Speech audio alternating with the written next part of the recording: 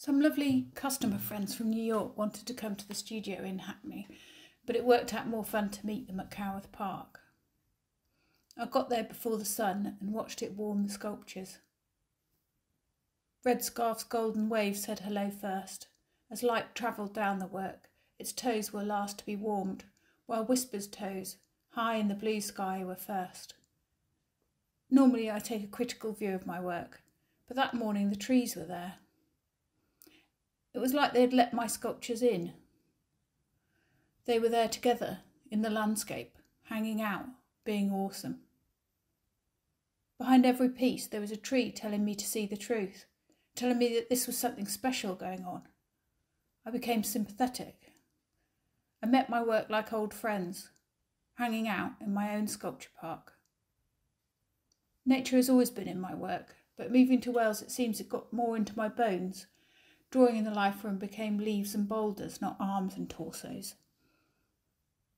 This autumn seems more vivid, more incredible. It can't be that I miss nature in Hackney. Because of Molly, we live looking out onto plane trees changing colour.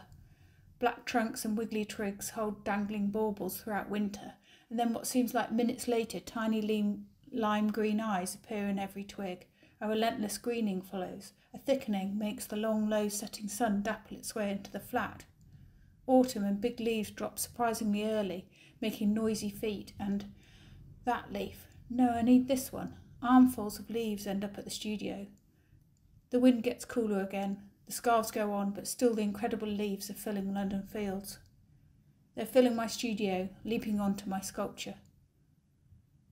Now, I can't say I'm not aware of nature in London but going out to meet the free trees, as I call them, I'm slightly overwhelmed. My magnificent plane trees counterparts are set against mountains and rivers and meadows and never ending winding walls and deep red purple ploughed fields and blue skies and black clouds. Just standing there, being awesome. In a mixed exhibition, sometimes my work can seem a bit quiet.